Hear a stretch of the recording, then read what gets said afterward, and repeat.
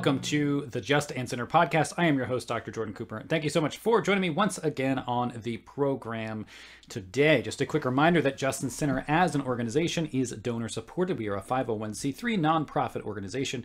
Please do consider helping us out financially with all of the needs that we have. Uh, you can go to justandsinner.org, go to the donate page there, and you can you can help us out. There are different ways that you can donate uh, to help fund this ongoing ministry that uh, we have in educating people theologically, uh, specifically with uh, Lutheran theological education. So uh, we have a couple new things as an organization that I want to announce. The first of those is that we are continuing our publication of Paul Kretzmann's popular commentary on the whole Bible, uh, as we have mentioned on previous podcasts. And we just released, as I'm recording this, the commentary on 1st and 2nd Samuel. So it's a single volume on, that covers both 1st Samuel and 2nd Samuel. You can pick that up at jspublishing.org along with the rest of the volumes in this series. We're publishing those pretty regularly. I am hard at work editing the uh, Petrus Naxgau volume, Articles of Faith, the Holy Evangelical Lutheran Church, set forth in 40 sermons. It's a long title it's a wonderful book. I'm really excited about this one uh, that I've been hard at work editing for quite a while now. And this is going to be released March 15th, so you want to keep an eye out for that when that is released. And I'll be doing probably, I don't know if we'll be doing a whole program, but I'll at least be doing some kind of video on that and giving some description of, of what that work is about, because I think it's really a really important one that I'm really, uh, really excited about along with that, we have an upcoming seminar uh, with the Weidner Institute. So it's been a little while now since we've done a live seminar. We've been focusing our energy on some of our lay level courses as we released the Intro to the Christian Life course, and two others are being uh, recorded right now one on apologetics and one on uh, law and gospel. Those are being worked on at the moment. Uh, but uh, as I've mentioned, we have some other seminars that are going to be coming up soon. So we have one at the end of February. This is with Dr. Mark Mattes on Martin Luther's Theology of Beauty. So you really want to check that out. You don't want to miss this. If you're there live, you can interact and ask questions. If you're not able to make it live and you do purchase the course or the, the seminar, you will receive a video of it afterwards. So even if you can't make it live, that's okay course, the way to get the most out of it is to be able to be there and interact and ask your questions. So that's coming up at the end of this month. As I'm recording this, is February 2021. If you're listening to this or watching this way after that, you should be able to purchase the video of the event that happened uh, on justandsinner.org. If you go to the Weidner Institute uh, page, we have a whole catalog of, of video courses and seminars that are available for purchase there. So go ahead and check that material out. Well, um, this last week uh, has been a little bit of a crazy one. This is you know, it's the toward the end of the week that I'm recording this, and I usually record on Mondays or record the week before and try to upload Monday. So we have a, a regular schedule, but there are times when things happen during the week and we have been snowed in for the last three days. so uh, here in upstate New York, it's been kind of kind of crazy with with the amount of snowfall that we've had. So we've had two kids home from school for three days. And then my youngest son had a exposure to COVID at school, so he's supposed to be at home for a week. So he is here. So if you hear some noise in the background, that's why. But uh, so it's been kind of hard to record with with kids home uh, and that kind of changes the schedule. So uh, I, am doing this a little later than usual, but as promised, I, I, am getting our regular weekly podcast in. It's just a little bit of a different time than usual. So on the podcast today, I'm going to be talking about the two natures of Christ.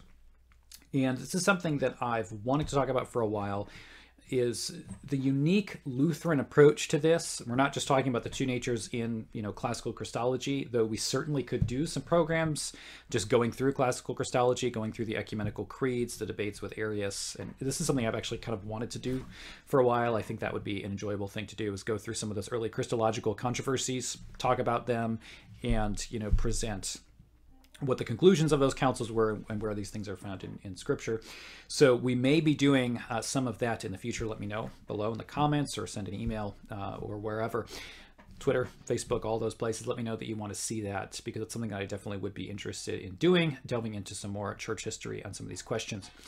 Um, as I'm working my way through my my uh, contemporary Protestant scholastic theology book series, uh, I, I'm working on the third volume right now, but I will be working on a volume in Christology, so I'm brushing up and some reading in that area as well.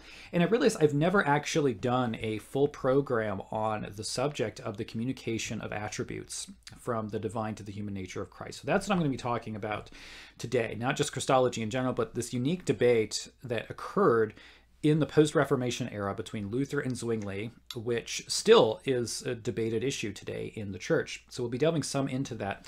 I published an article with Modern Reformation in December on this very issue, talking about the Lutheran Reform differences on, on Christology. So if you want to check that out, um, you can go to i'm trying to think of how to find an easy link to that go to jordanbcooper.com that's a, that has links to all of my articles and books if you want to check that out I know I'm just giving you a ton of links. Sorry, but uh, these are resources if you want if you want to check them out. They're there for you. So I, I address some of these these differences kind of on a broader scale. So we're going to delve into what the communication of attributes is, what the deal is with this controversy, and then delve into some of the, the biblical foundations and theological foundations of this. I'm going to be referring to a few different sources here. One of these is uh, Revere Franklin Weidner's Christology we are going to be we are republishing this. I'm working on it right now uh, but this is the old the old volume. Uh, if you can find yourself a copy i think this cost me like 80 bucks or something to to get because i couldn't find it anywhere. Um, and it's not even in great shape but we will be re-releasing that as well. Something I'm, I'm working on. We're over halfway done with that. Uh, but then i'm also i also in preparation for this just read through gerhard's on christ the section on the communication of attributes. I read the rest of this volume, but the first half of this volume in the past, but I decided to actually go back to it and finish it, which is something I've been meaning to do. Um, Gerhard is is a lot to read through. Uh, if you are not aware, if you haven't read Gerhard, but it's he's excellent. A lot of really great detailed treatment. So I'll be dealing with that somewhat, um, and then I also have uh, Leonhard Hutter's Compendium of Lutheran Theology that I will probably be referencing here as well, which is a volume that we publish get it just jspublishing.org. Okay, so and then of course I'll be dealing with scripture. I mean that's the most important thing, right? We'll be looking at scripture as we get into some of these uh, passages that we'll be talking about. Now, this may be something I do for multiple programs. I don't know what we'll get through. There's a lot related to this discussion. And I think the best way to start is to just talk about some of the historical debates and set the context for uh, for this discussion. So, um, the, the debate about Christology, which is really at the center of the divide between the Lutheran and Reformed traditions, which you wouldn't think. I mean, usually we think of the two traditions as differing in the sacraments, and we think, well, Christology, I mean, they all hold to the ecumenical councils. We're all agreed there, so what, what could be the big Christological debate? Well, this ended up really being the dividing line between Luther and, and Zwingli. So it's well known that Luther and Zwingli, uh, the Swiss reformer Zwingli, Ulrich Zwingli, they had a bit of a disagreement, a uh, bit of a disagreement on, on, a number of issues. Actually, I think that the disagreement between them is is minimized by a lot of people, and it's minimized to make Luther sound like he's just being obnoxious, and Luther is just being nitpicky. At least that's how the Reformed historians tend to portray Luther in in the exchanges between them. And the argument is often made, well, Luther and Zwingli really agreed on everything except for you know the question of kind of how they differed in terms of the mode of the lord's supper and really they weren't that far apart on, on these various issues on all the other issues.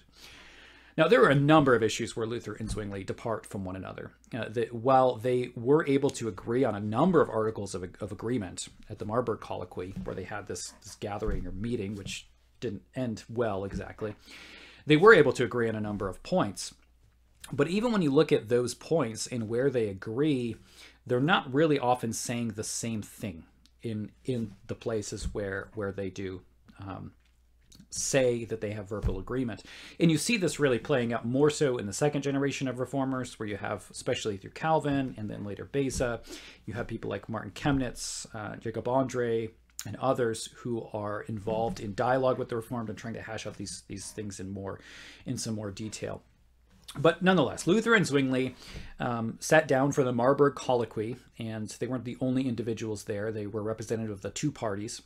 There was a, a desire for the Lutheran and Reformed churches to work together. At this point, they're not, you know, fully formed churches, but as we have this reform movement in these two different areas, for, of course, we're going to see various reform movements, you know, in the Church of England and, and other places as well. Uh, but kind of the two heavy hitters initially in the era of the Reformation were Luther and Zwingli, and they each had plenty of criticisms of Rome and uh, suggestions as to how to correct um, what had gone wrong in the medieval period of the medieval church. And they were in agreement on a number of issues, including justification by faith alone. Um, there may be some differences in terms of how that worked itself out between the two, but generally they were agreed on that. Uh, there were some big disagreements, such as the nature of worship. Uh, Zwingli very much had a stripped down, totally stripped down worship service, started preaching just straight through the, the book of Matthew. Um, Luther was very much in continuity with the church in worship, in excising parts of worship, but keeping the main structure of the Mass in a way that Zwingli really was not doing. But it's natural that you see these two reform movements, there is going to be discussion because ideally, if you have reform movements, they're going to be stronger. I mean, politically, certainly, they're going to be stronger if they're working together. So if your sole concern is to have, you know, good political allegiance and alliances against Rome, then it would have made a lot of sense for Luther and Zwingli and their various reforms, distinctive reform movements to come together. And you have a number of individuals that are kind of in between as well. Martin Bucer's the big name there who tends to kind of be a little bit back and forth between those two movements. So after some discussion, uh, Luther agrees to meet with Zwingli uh, at, at Marburg. So they meet at what's known as the Marburg Colloquy. And, you know, there are a number of different testimonies as to what happened at the Colloquy of Marburg, firsthand uh, accounts. You can you can read those and they all tell a little bit of a different story, a little bit of different details, as anything kind of does. But but they're all really agreed on generally a couple things. One is when Luther and Zwingli first met, there was a kind of cordiality between them before the discussions really started started going. Uh, one of the historians makes the observation that they they spoke as brothers, and I can't remember exactly whose testimony that was, but I know Philip Schaff cites that in his discussion of this. Um, so they they seem to have cordiality between them, but and they went through a number of different doctrinal points. And as they went through these various doctrinal points, they they found agreement here, agreement there, but eventually they stumbled on the issue of the Lord's Supper. And when they got to the question of the Lord's Supper, it was very apparent that Luther and Zwingli were not on the same page. Now, oftentimes when we think through this debate and the way it's portrayed, what we think about is the fact that this boiled down to the words of institution, which it does. You know, that's certainly a portion of the debate, but it's not the entirety of it. And in this debate about the words of institution, Luther just repeats, "This is my body." Hoc est corpus meum. He like writes it on the table and keeps pointing at it. And, um, one account says he's like pounding on the table and, and just repeating it over and over again. And, and for Luther, this is my body. Hoc est corpus meum means this is my body, and that's the end of the story. So Jesus said, "This is my body," so this is Christ's body. Now Zwingli rejected that interpretation of the words of institution and said no, that the Lord's Supper was not the, the true body of Christ, but it was a representation of Christ's body. And Zwingli would contend that is in that context means represents. Uh, this bread represents the body of Christ. The blood represents, or the wine represents the blood of Christ. Luther, of course, uh, fought against that. Eventually, this debate between them meant that Luther would not shake Zwingli's hand at the end of the colloquy, uh, and he said, We are of a different spirit.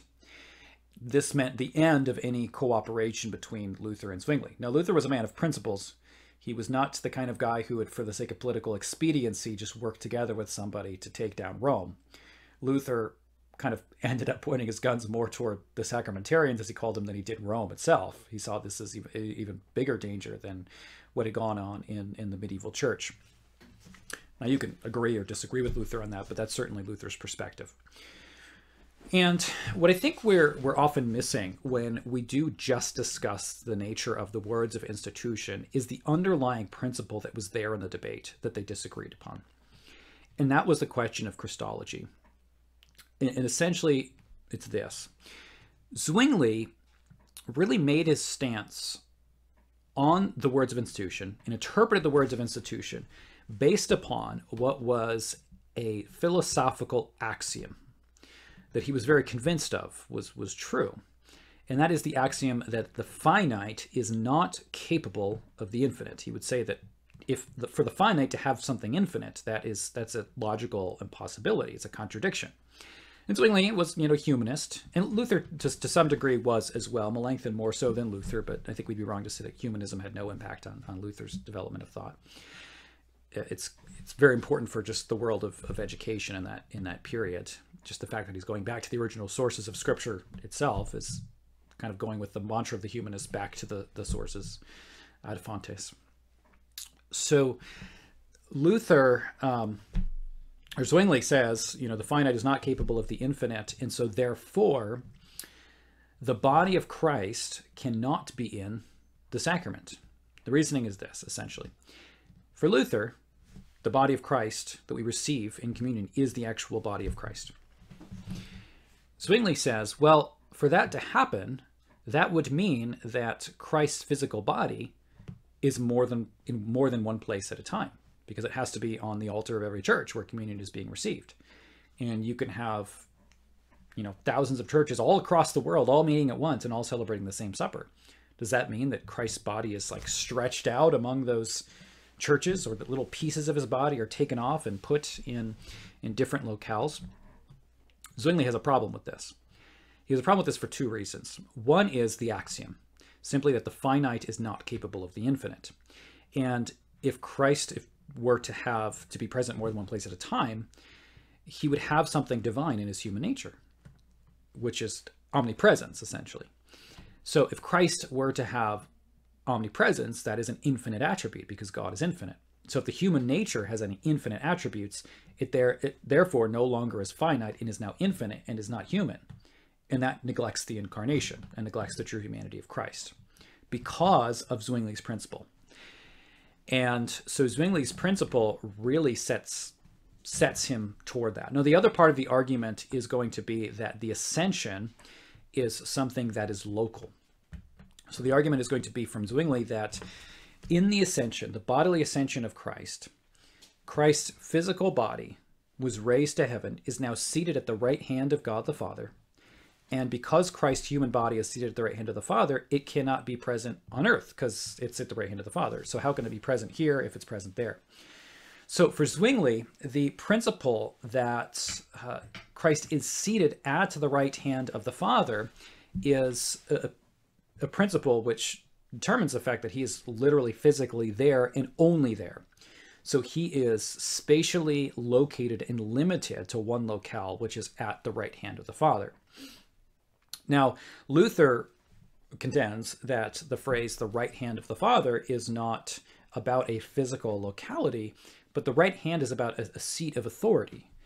Now, to, to some degree, we all have to acknowledge that there is, is anthropomorphism here, meaning that there is language referring to the divine in, in human phraseology with human ideas that we can understand that explain something to us that is true about God. Uh, and why I say we all have to accept that is because, well, I mean, the, the picture here is he's at the right hand of the Father. Now, if we're going to take this literally as a, as a, faci- a spatial statement, that we want to take it in the most literal sense, we can have this picture of, you know, God the Father seated at a throne, and at his literal right hand, sitting next to him, is Jesus on a literal throne, unable to move, right? Oh, and, and you know that may work in a Mormon context where there are three personages and um, you know separate gods and the father with a physical body and things like that. But uh, orthodox christians of course aren't going to come down on that perspective. We acknowledge and understand that god is spirit as scripture says. Uh, he does not have a physical body. So we have to understand that there's anthropomorphism there somewhere. And so i think the, the criticism from the reformed by the way is often going to be that the lutherans are literalistic with their language Right? They're going to say, well, you Lutherans, you don't allow for any metaphor because you say, this is my body, and you just insist on taking it literally, and you're really misunderstanding like the nuances of grammar and metaphor and those kinds of things. And, and that's really not a very good criticism. And the reason why it's not a very good criticism is Lutherans are very much willing to acknowledge that there are phrases that signify things like, you know, we have anthropomorphisms. Uh, we have uh, pl- plenty of symbolic language in Scripture. We acknowledge that the book of Revelation is very symbolic. Uh, we don't interpret the book of Revelation in the way that the dispensational premillennialist does. Uh, we understand, as they said, Luther understands the right hand of the Father not as a literal physical statement, but as a statement that is an anthropomorphism, explaining what God is like and explaining the seat of authority that Christ has. So it's not a question of do we take everything literally or do we take nothing literally? It's in context and grammatically, is there precedent for taking this literally or not? And of course, the, the straightforward reading of the text should be our go to, unless there is sufficient evidence and sufficient textual evidence, grammatical evidence, that it should be taken otherwise. So when we're coming to a passage like this, speaking of the right hand of the Father, um, through a, a, number of different reasons, and you can look at Gerhard's explanation of this, we may go through some of this, we have sufficient evidence to say that that should be taken, not be taken in a literal physical sense. But what we don't have in the words of institution is something like that. Okay, so um, the words of institution grammatically mean what it says. And contextually as well, if you look at the context of this being the Passover and Christ is the new Passover lamb, they eat the actual lamb, they don't eat a symbol of the lamb on, on the Passover. There, so there's this whole context that's going on there as well. This being Jesus' last will and testament. Here's a place where he's, he's not in the same context of, you know, teaching publicly, where he is trying to you know, communicate things in a way that the disciples understand, but the Pharisees don't, because you see Jesus does do this. But he's giving them a very clear instruction that is to be carried out exactly. We also see the interpretation of that instruction by St. Paul, who speaks about partaking of, of the body of Christ, partaking of the blood of Christ. So we, we have we have ample reason to simply take the text for what it says. Um, even at one point in the Institutes, and I don't have the quote on me right now, but I, I believe I cited it in The Great Divide. But there's a place in the Institutes where where Calvin, in, in, debating this issue and arguing for his perspective, even at one point comes down to say we shouldn't subject Christ to the usual rules of grammar, uh, because he even acknowledges in these debates that, according to the ordinary rules of grammar, this certainly seems to be what it says that this is the body of Christ. You have a hard time arguing that this represents the, the body of Christ. So uh, but we're not going to get too much into the, the Lord's Supper issues, but that's the background that we really need to understand to understand what's going on in these Christological debates. So that it really arises in the context of debates surrounding the Lord's Supper, but it really is a much bigger issue than that. It's a bigger issue than that. And some critics of Luther will end up saying that well, Luther just kind of came up with this weird theory as a way to defend against Zwingli on the Lord's Supper. So he came up with this idea that, well, actually, there's a communication of divine attributes to the human nature, and that really wasn't thought through very well. It was just kind of a knee-jerk response to to Zwingli's criticisms because he had to have an answer to this whole finite cannot contain the infinite thing. And I don't think that's really the case at all. In fact, I, I think that Luther has this intimate, um, this understanding of the intimate relation between God, the transcendent God, and the physical earthly creation. We see that kind of theme throughout Luther's writings and throughout his theology in so many ways. And I do think that this is demonstrated in a lot of just the kind of trajectory of the Reformed churches versus the Lutheran churches. So let me give you some examples of this. Um, think about, you know, kind of the, the Reformed, if you read a lot of Reformed theology proper, um, Reformed doctrine of God or Reformed doctrines of worship, for example, there is a very high emphasis on the transcendence of God, God's transcendence. Um, there is a strong emphasis on the sin of idolatry uh, Bavinck points us out. He says, kind of the, for the Reform, the chief sin is idolatry. For the Lutherans, it's self righteousness. Uh, maybe that's not always the case, but but I I think it's a it's you know it's a generalization, so it goes as far as generalizations go. But uh, I think he is generally correct in in seeing that.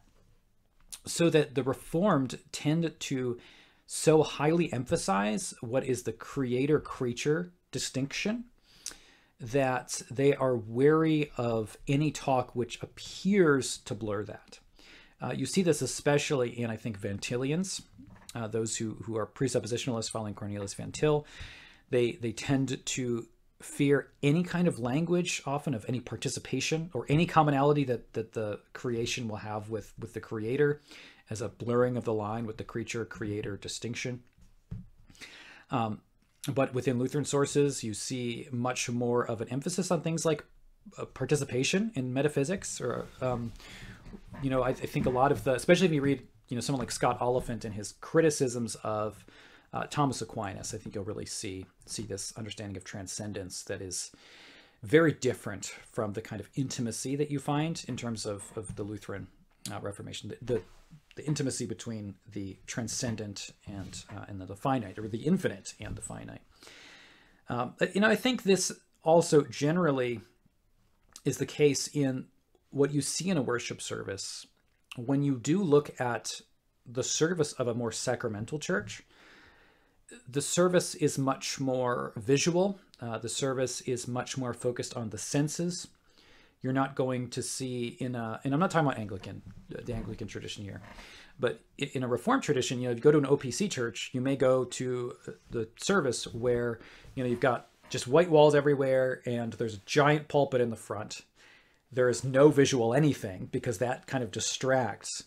And so you have what you have then is um, a focus on just the theology that's behind the worship rather than the experience itself.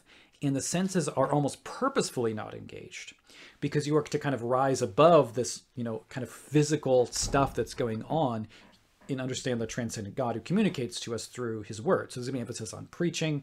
Uh, it's going to be much more of a kind of intellectual emphasis where even in, in Reformed churches where the Lord's Supper is, is celebrated. I've sometimes seen, um, I don't mean to suggest that, yeah, I said that weirdly, but uh, what I mean is, okay, in, Reformed churches, when they celebrate the Lord's Supper, uh, I've seen at certain times that there is a kind of theological explanation of the Lord's Supper before the Lord's Supper.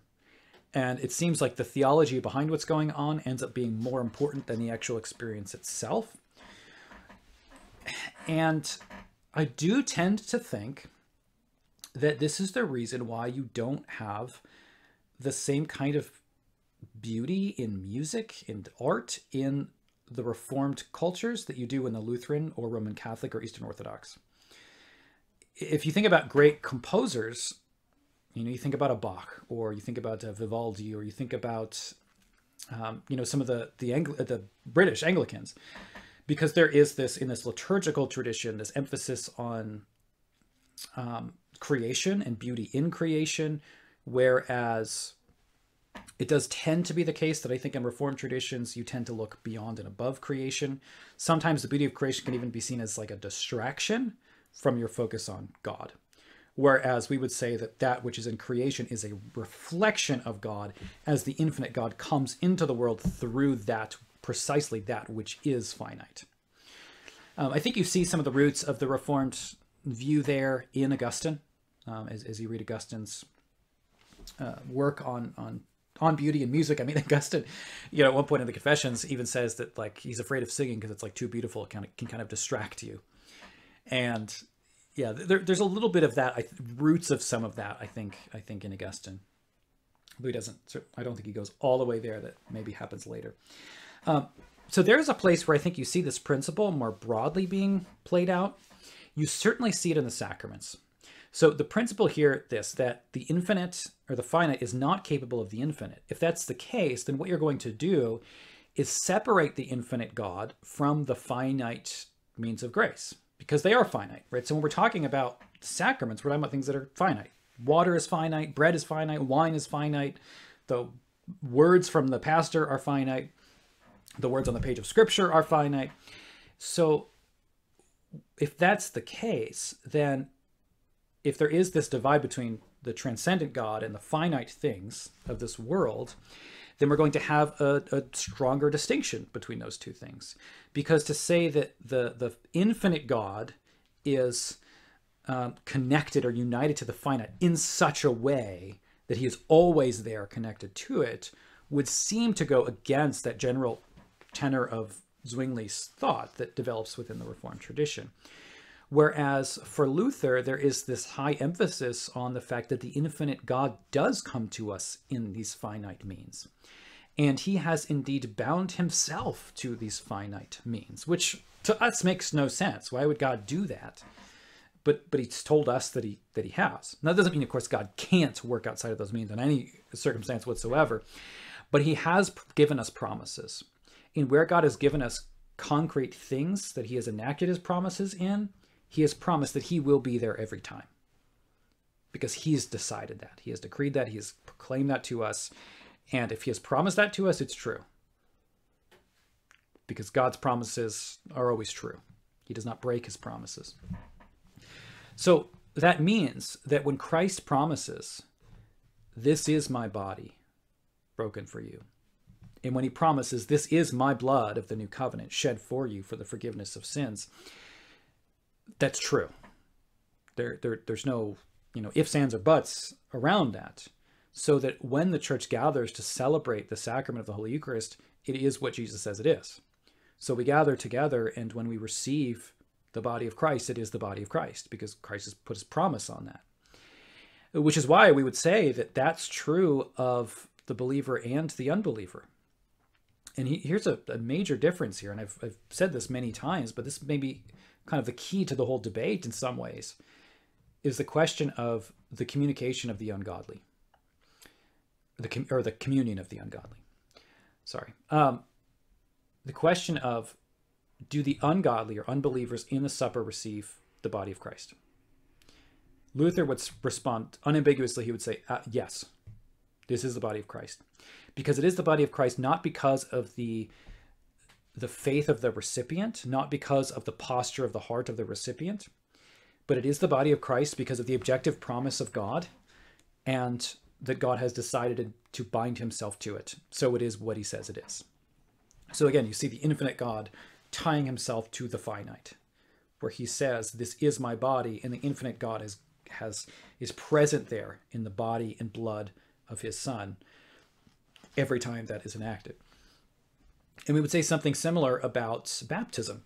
So that in the gift of, of holy baptism, this is the washing of regeneration. Um, it is the washing of regeneration always, not just sometimes. It is not just the washing of regeneration when the, the individual recipient has faith. It's not just the washing of regeneration when one is elect, or if God so decrees at that moment that that would be the case. It is always the washing of regeneration because the Holy Spirit has tied himself to that act or that sacrament and has promised that he will be there. In other words, the infinite God has tied himself to this finite means of grace, um, holy baptism.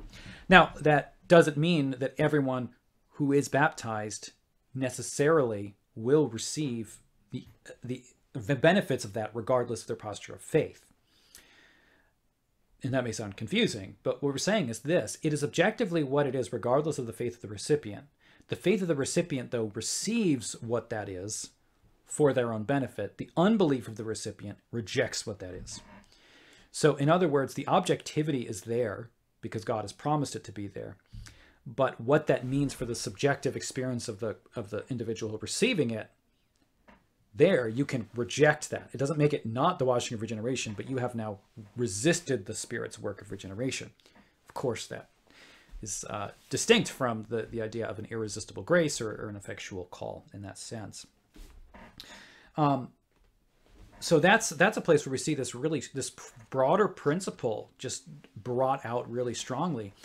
Um, so yeah, we, we see this in the Reformed idea that you find, especially in the Westminster Confession of Faith, that God does use means of grace, right? So the Reformed aren't going to say there, there are no means of grace, um, but they are going to distinguish between the infinite God and the finite means of grace so that the finite means of grace become the tool of regeneration or become a tool of, of, of grace when the whole the God the Father sovereignly decrees that it is going to be such so that for the elect, God can use baptism to regenerate.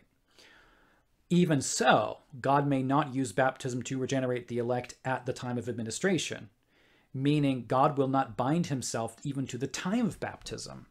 God can work outside of it altogether, or God can work where the individual is baptized and then God later in life brings the grace of baptism to bear in that individual's life as he then regenerates the elect.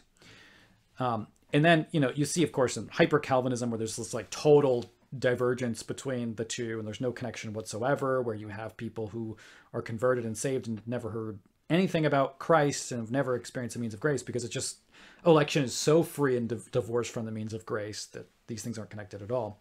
I do think you also find this, it's always very consistently played out in, in Karl Barth and his doctrine of revelation.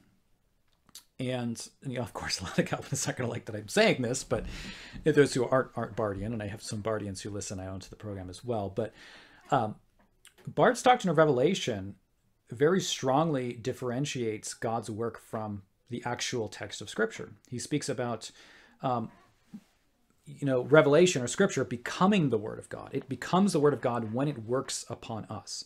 So it is not objectively here the Word of God, but God freely and sovereignly decides to work through it when and where He wills to then make that true to us. And that is God's act of, of revelation. So revelation is not objective revelation here, but revelation is in, in this kind of I thou encounter with me and, and, God. Now, it's not like it's just those in the Reformed tradition that do this. You know, you can look at Rudolf Bultmann, who's certainly behind a lot of this, but but in some ways, I think it's a more consistent idea within the Reformed framework than the Lutheran. Because the Reformed framework does have this divorce between God and the means of grace, so that he's sovereign over and above them in a way that he doesn't always have to work through and in them, but only when he sovereignly decrees that he will. So we can see how this idea can be applied to scripture in, in such a way that it it results in that. Now, of course, I'm not saying that all the Reformed have the view of Barth of, of, Revelation, but Barth does say things like he says, yeah, God can reveal himself through Scripture, but he can also reveal himself through a dead dog. Um, really weird quote. like, I don't know why he shows a dead dog. Um, and yes, I've read his uh, Church Dogmatics on the Doctrine of the Word of God. I've, I've read too much of Barth, um, and, and I feel like it was a colossal waste of time because I'm not sure that I, after reading the like 2,000 pages of Barth I've read, I'm not sure I understand any better than when I did when I started. But you know, I, I don't understand Barth scholars. Good luck to all of you. I don't know how you do it, but I really don't.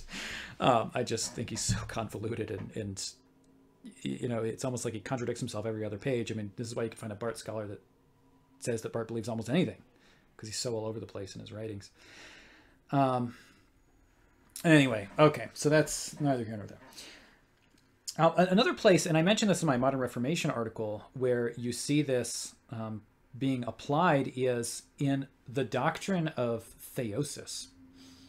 So, and I mentioned this before, I've mentioned this quite a few times that you know my, my latest book that I just that's written it's being edited right now uh, it will be released the first half of this year so that is a book on union with Christ or or theosis. I already have one out, Christification, a Lutheran approach to theosis. This new one's going to be much more in depth. Uh, but you find in a lot of early Lutheran sources a lot of utilization of the idea of theosis, or these this this language that man becomes a partaker of the divine nature. So uh, you see this, we see this in Luther. I mean, look at uh, Tuomo Mannermaa's work, Christ Present in Faith, where he studies union with Christ and Luther's, spends a lot of time in Luther's Galatians commentary. Now, I don't agree with all of Mannermaa's conclusions. I also don't agree with the lack of any idea of a forensic justification that especially comes in the, the people following Mannermaa. I think that's really not consistent with Luther and certainly not consistent with the New Testament. So I, I think they kind of take this really valid um, theme in Luther and valid critique of a lot of Luther interpretation in the past, and they just kind of run with it way too far. But but I think Mannermaa does very much demonstrate that this theme of theosis certainly can be found in in Luther's writings, and I think it is there in the Galatians commentary. I think it's there all, all over the place in Luther. Um, but something that I've tried to, to demonstrate is because I'm not, I'm not a Luther scholar, uh, and you know I know plenty that are, and there are so many Luther scholars that it's not really something that I, I've wanted to spend my time on. I love Luther and I, I utilize Luther all the time, but I tend to want to focus on the post post Reformation Lutheranism, uh, in the developments that occurred after Luther. That that's my area of interest more so, and you know you see that from the program and from the books we publish uh, because I think we have such a rich heritage that is so often missing because we focus so much on Luther. We don't even focus on Melanchthon enough. I mean, there's so much great stuff there as well. But um, what you see in a lot of the early Lutheran sources, and you look at uh, especially like a Johann Gerhard, this theosis language is all over the place. I mean, they're constantly talking about partaking of the divine nature, and that's a, that's a text from Second Peter, but it's not one of those texts that shows up occasionally. I mean, it, it is it is one of the most common texts cited by early Lutheran sources. They're constantly citing this idea because it really is a key for how they understand sanctification and how they understand Christology. You read Martin Chemnitz on the two natures of Christ. Uh, he will cite St. Athanasius saying that God became man that man might become God. Of course, you have to understand that in the proper context because that, you know, sounds a little strange. Are we saying that we become um, God is God is God? You know, like in a Mormon sense, uh, what's what's called apotheosis. Do we become gods of the same kind as, as He is? No, of course not. But we do share in the divine nature. We have to say that we share in the divine nature in, in to some extent because Peter says that. And that kind of language is there from the very beginning of the church. You find it in St. Irenaeus, you find it in Justin Martyr, you find it in Athanasius. I mean, it's it's universal in, in the church, in the early centuries of the church. Near universal. I don't want to say universal because I don't I don't know. there, there may be some significant fathers that didn't speak in that language. I'm not sure, so I don't I want to be careful about how I say things. Um, but it is near universal in, in, the early church that there is some concept of, of deification or, or, theosis or a participation or sharing in the divine nature. Um, you see this in Luther's thought. And again, you see it in Gerhard. It's I have a book on this coming out. Um, but I think one of the ways that you maybe see this most clearly is in the Theologia Germanica. Now, the Theologia Germanica is a work written by an anonymous author. Uh, we republish it, so you can get a, you can get our edition of it, um, jspublishing.org. It's a it's an older tra- it's a 19th century translation. We didn't do a new translation, but it is a nice format.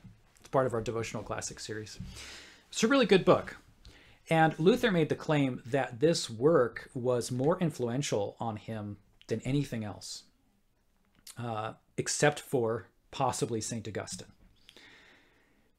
And if you want to see some more work on this, uh, Theology of the Heart by Bengt Hoffman um, does a great. He's a great book. That's a great, wonderful, wonderful text. I think he totally misunderstands scholasticism, though. When he gets to the Lutheran scholastics, I mean, I have so many criticisms the way that he he just totally mishandles Quenstedt, especially, but but but the others too. Um, but he makes he makes the point that Luther we have a lot of the volumes that Luther actually read and underlined and put, took notes in. And throughout his writings, we'll usually see a kind of yes and no, sic or non, uh, throughout you know the margins to say like I agree with this or I don't agree with that.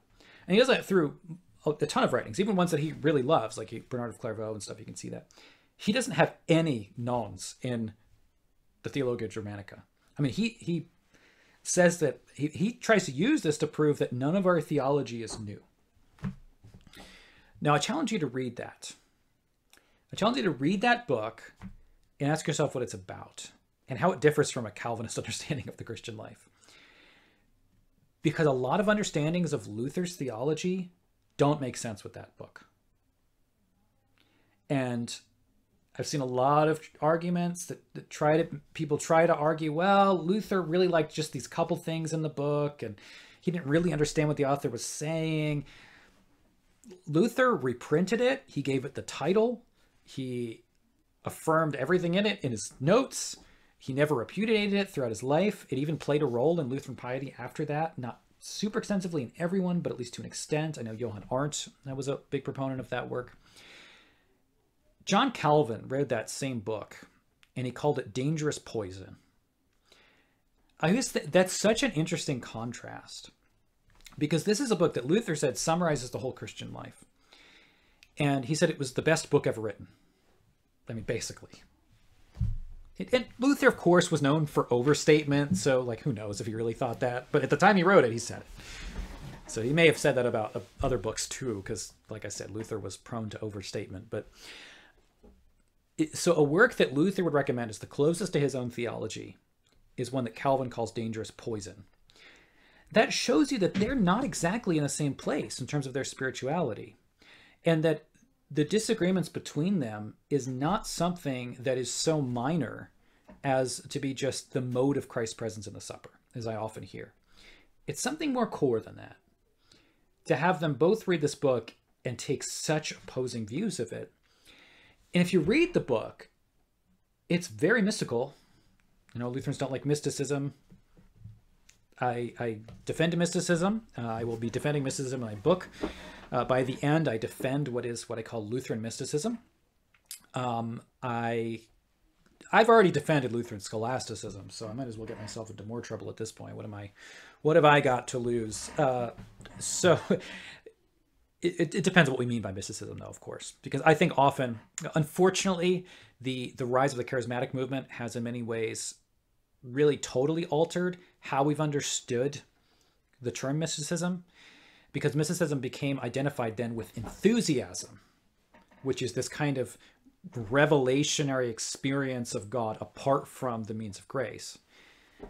And that's not what I'm talking about when I say Luther is a mystic. It's a very different kind of mysticism. But it, the older sense of the word that is to be identified with some of those really important medieval figures like a Bernard of Clairvaux, like John Tauler, and the Theologia Germanica. Those are the three main sources for Luther's mysticism if you look at those sources, and then if you look at Luther and his incorporation of those, and then Luther, and then Gerhard's devotional writings, you have a, a mysticism that is very much a word sacrament centric mysticism. It's not enthusiasm; it's very different than enthusiasm. So I want to make that clear. Um, I'm kind of trying to recapture these terms as they have meant historically. I think they it's been abused. So when most Lutherans criticize mysticism, I, I would agree with them. By the way, I, I, in what they're criticizing. But I think it's wrong to use that term because the term has such a rich and important history within Luther's thought and within Lutheran thought. Um, we, we shouldn't be skeptical of experience. We shouldn't be skeptical of even things like emotion. Well, you know, th- those are like good God created things. It, it just depends if it's tied to the means of grace, you know, the objective word and sacrament, or something that is totally divorced from that with just this internal religious experience, totally devoid of the external means of grace and, and this you know in, introspection and all of these things that I've criticized you know at, at length in many places. So that kind of mysticism is not good, but there's a kind of mysticism that's good. And so if you read that work, it's basically all about theosis. I mean, that's that's the point of the book. Uh, it's a, it's about the surrender of self to God and the filling of God within us that changes us. Um, it, it's the passive reception of this kind of mystical union that that is emphasized there. So it's not about this active life of works or earning something, but it is about this inward transformation, though God is the one doing it. Um, it's been said that Luther has a passive spirituality.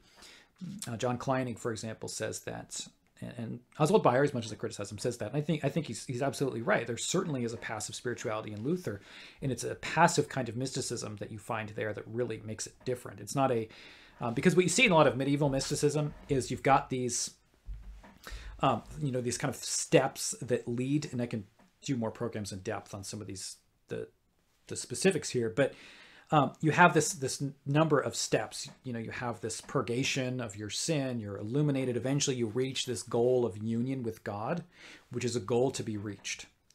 For Luther, the mysticism is kind of flipped on its head. He's not. It's not that he's against this Christian experience, but it's that our Christian experience flows out of the end, and that the end is brought to the beginning. Okay, so that because of Christ and the incarnation, we do have union with God. In faith, we have perfect union with God. That's been accomplished for us in Christ.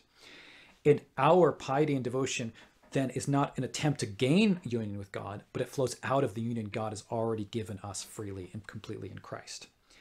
That's a so it's very different in that way. And that's where this passive spirituality informs his mysticism so that this this practical Christian piety is one of, of he's constantly speaking of joy and he speaks of he uses language of raptus or the, the rapture um, of, of, this these kind of experiences of extreme joy that he has in the gospel um, which is not for him. Again it's it's doesn't flow out of i've done enough i've fasted this much but it's joy and delight in the fact that we have union with god in christ perfectly accomplished for us and now we live this life of joyful piety and devotion out of the union that's already been accomplished. Um, so it, it definitely is, is distinguished from other mysticism in that way.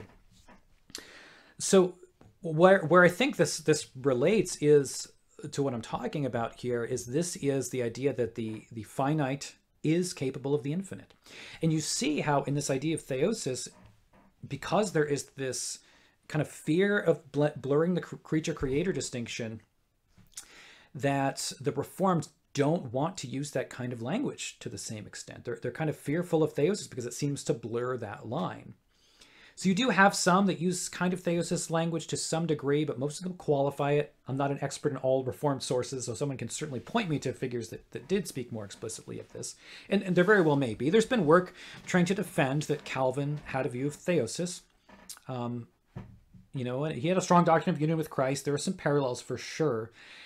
And I'm not discounting that there's any doctrine like that in Calvin, but what I'm saying is there's still a difference between that and where Luther's going. Luther is much less um, afraid of that blending of the infinite, finite, and infinite, because for Luther, the finite is capable of the infinite without becoming the infinite. And, and see, that's where the Calvinist principle is really very different. Is for, for the Reformed, it tends to be the case that there is a fear that if the infinite can, or if the finite can contain the infinite, then the finite becomes the infinite but that's not what Luther. That's that's that's not the principle that we hold to. We we hold, you know, it's not like we deny the creature creator distinction. God is absolutely transcendent, but we if we share in God or participate in God, whether that's through our general union that all things have with God, or if it's through that mystical union that we have with Christ, partaking of God and sharing in God is not being God. There is a difference between God and those who share in God. Um, complete difference. Like like we are ontologically like totally different. we are totally other than God, uh, and, and, I think that's apparent in you know my defenses of, of classical theism in so many ways. Um, that you know because the criticism of classical theism is that it makes God you know unknowable by humanity because he's so other. Um, so I don't know how you could say that I've, you know, kind of blurred the, the distinction there, but maybe you would. Uh, I know that the Eastern Orthodox uh, listeners will say that, you know, the fact that I don't use the essence energies distinction precisely means that I'm doing what the Reformed are accusing of us of too. I will say this, though, that there is language of actually the energetic presence of God in relation to mystical union. Energeia is the term that is used there it shows it does show up in Gerhard too, by the way, in his Christology. So as far as I know, I haven't found anything that delves too deep into that, but there may even be a bit of a precedent in Lutheran history for having a kind of distinction like that as well. So that's interesting. But how that relates to to Christology and the question of Christology is this: that if the infinite, the finite, is not capable of the infinite, then Christ's human nature cannot experience a kind of deification. If I can't even if I can't experience a deification, Christ can't experience a deification. If he can't, I really can't, right? Um, and this this is what leads the reform to say that Christ's human nature does not have any divine properties, where the Lutheran tradition would say that there is a communication of that which is divine to the human nature of Christ.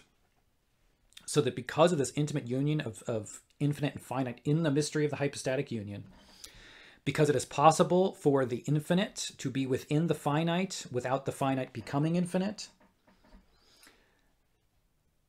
that this is an absolute possibility, that Jesus exercises divine attributes because of the nature of the theanthropic person so that Jesus can be omnipresent according to his human nature. He can be omniscient according to his human nature. He can receive divine worship according to his human nature. He has divine authority according to his human nature. And there's textual evidence for every single one of these claims. And that's what we're going to get into in future podcasts because this is all just background. and I thought this may happen. We may just get background uh, in terms of this broader principle, the finite and the infinite uh, which, which I think do think is very important. I will say this though, just one argument for you to, to, to consider as we get into the specifics next time that we address this. Um, if you don't believe that it's possible for anything that is divine to be communicated to the human nature, how do you explain that it is the divine person that assumes a human nature? Or, in other words, how do you explain the impersonality of the human nature of Christ? Because Christ's human nature doesn't isn't a person. If Christ's human nature is a person and the divine nature is a person, there are two persons, and now you're a Nestorian. So, what you have to say is that this human Jesus is a divine person. He receives his personhood from the eternal Son, from the Logos. If that's the case, you have to believe in a communication of the divine to the human, or else there is no personhood of Christ. That includes the human nature. Just think about that. I'll leave you with that. Uh, and thanks so much for watching and listening. Uh, this conversation can get kind of technical. I thought it was important to get some of the background here before I got really into just the three genera. So we'll be getting into some of that discussion, but hopefully this this background and some of these kind of underlying ideas help you to think through some of this, and we'll get into the specifics as we do this. Maybe next week we may take a break and go back to some other things and then come back to this, but it'll be soon. So thanks so much for watching and or listening. We'll see you next time. God bless.